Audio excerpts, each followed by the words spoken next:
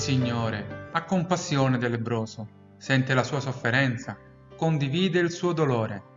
La lebbra, malattia della povertà che isolava dal mondo, era considerata come una punizione divina e il malato, roso dai sensi di colpa, doveva stare lontano dalle città. Gesù non ha paura di toccarlo, di purificarlo, di restituirgli dignità e salute, ma il lebbroso non capisce, non sa chi sia veramente il rabbì. A lui interessa solo guarire e contravvenendo la dura ammonizione di Gesù, invece di tacere, proclama ai quattro venti l'avvenuta sua guarigione, al punto che Gesù deve rivedere il suo progetto iniziale ed evitare le città. Una malintesa esperienza di fede può causare dei danni. Al Signore viene impedito di evangelizzare perché il rischio di essere scambiato per un mago è troppo alto.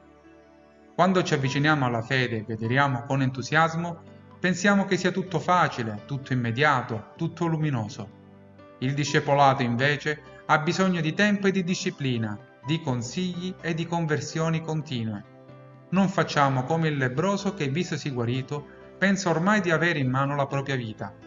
La conversione non è che il punto di partenza di un lungo percorso, a tratti doloroso, che ci porta verso la pienezza.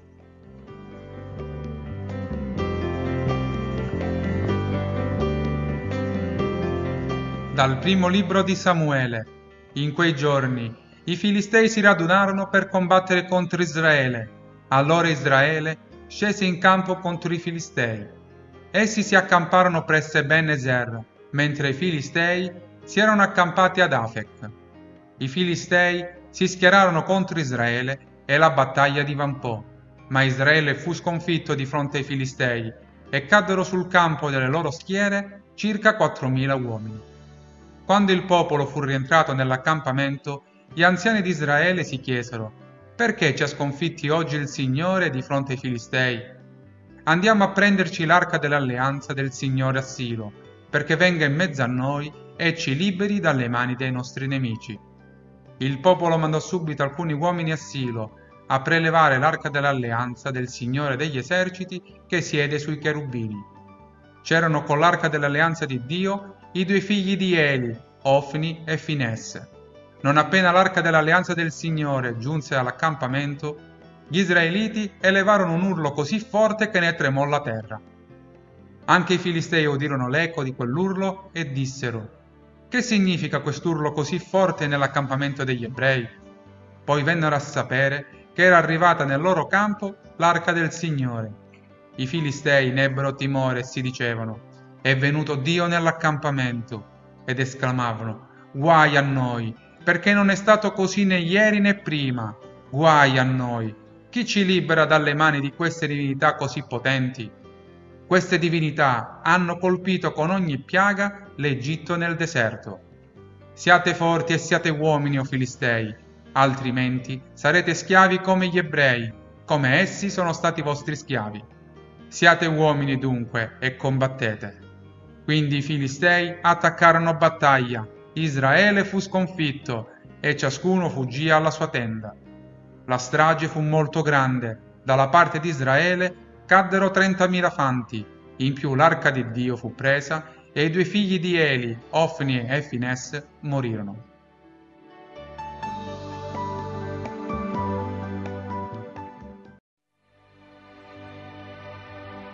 Dal Vangelo secondo Marco. In quel tempo venne a Gesù un lebroso. Lo supplicava in ginocchio e gli diceva, se vuoi, puoi guarirmi. Mosso a compassione stese la mano, lo toccò e gli disse, lo voglio, guarisci. Subito la lebbra scomparve ed egli guarì. E ammonendolo severamente lo rimandò e gli disse, guarda di non dir niente a nessuno, ma va, presentati al sacerdote e offri per la tua purificazione quello che Mosè ha ordinato, a testimonianza per loro. Ma quegli, allontanatosi, cominciò a proclamare e a divulgare il fatto al punto che Gesù non poteva più entrare pubblicamente in una città, ma se ne stava fuori, in luoghi deserti, e venivano a lui da ogni parte.